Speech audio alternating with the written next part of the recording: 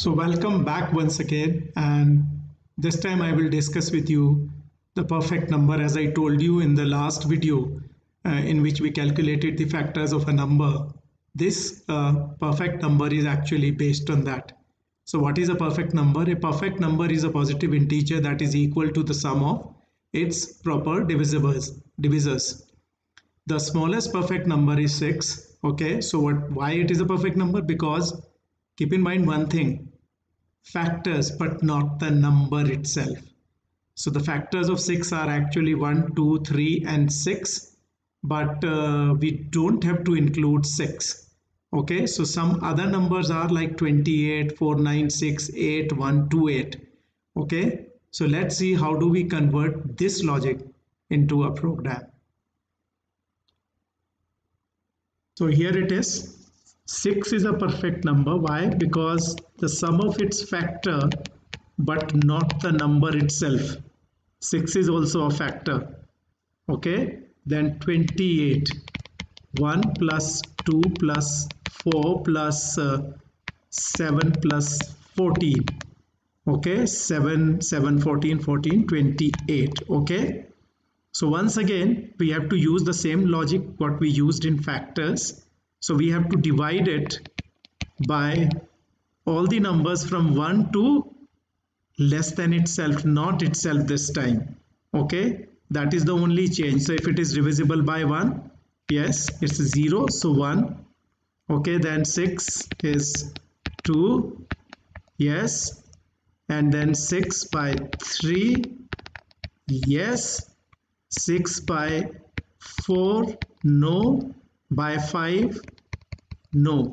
So the sum of this okay it will go up to 5 not 6 so it will go up to 27 not 28 and that is the only change between that program and this program. Okay so let's see now. Okay here it is. This is my last program that we did. Okay so here we have to make some changes we have to calculate the factors so we need some some variables. I'll change it. I'll make it perfect number like this. Okay so i come here. Uh, this will be changed. I'll copy it. That's faster. Factors perfect number. Right? So that's done okay print.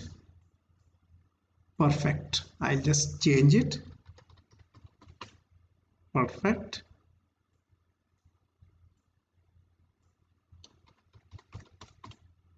Okay. And this is not needed. Just please bear with me for a minute. Enter a number that's correct. We enter a number. Then we need a variable to calculate the sum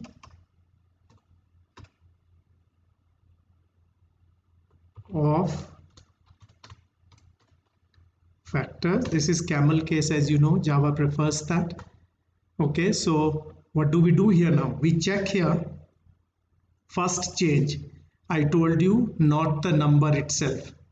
Not the number itself so less than number. Okay so we avoid the number itself here. Then we check if it is. Then what do we do here? We don't print anything. What do we do? We say sum of factors is equal to sum of plus i. I is the factor. So if i do that and then outside the loop keep in mind that okay if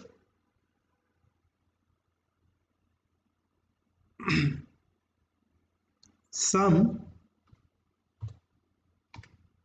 sorry I'll copy it. Better. Anytime.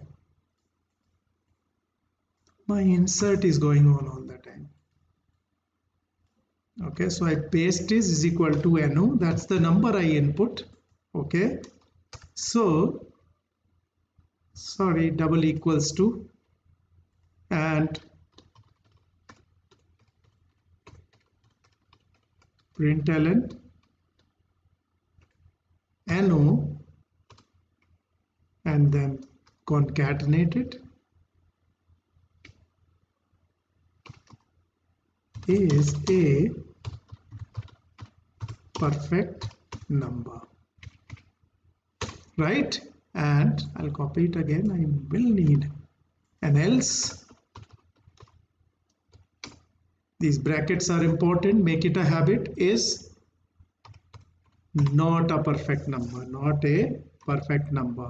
These brackets right very very important. Even if you have a single statement right it doesn't matter. So the for loop ends here. This is a comment entry for loop. It's a good practice to put some comments. Okay i'm not putting too many right? So for loop ends there right? So what am i doing here? I'm inputting a number okay? And then i'm dividing this number by all the numbers but itself. And then i am taking a sum here. Okay? I is the factor so i add it to sum. And if sum of factors is equal to the number then it is a perfect number. So let's see if this program works. Okay enter a number so I'll enter 6 6 is a perfect number okay I run again. And this time let's enter maybe 10 10 is not a perfect number right? Okay so enter another one 28 28 is a perfect number. So how is it working? So I enter 6 so my loop will go from 1 to not 6 1 to 5 less than the number. So first time the value of i is 1 is NO 6 divisible by 1 yes it is so I add 1 to sum of factors then the value of you know because of the loop it changes 2 is 6 divisible by 2? Yes, it is. So I add 2 to sum of the factors. First it was 1, now 2, so it becomes 3. Go back again. The value of this becomes 3. Is number that is 6 divisible by 3? Yes, it is. So add 3. Before it was 3, so 1 plus 2 plus 3 is 6. Then we go back again. 4 is 6 divisible by 4? No. Is 6 divisible by 5 no. And then what happens? The loop ends. Is sum of factors that is 6 is equal to the number that we input 6 yes it is. Then it is a perfect number. Okay? So this program is also based on the last program that we did factors. I hope this makes sense and you understand it. Don't forget to dry run the way i did it. You will understand it. See you in the next video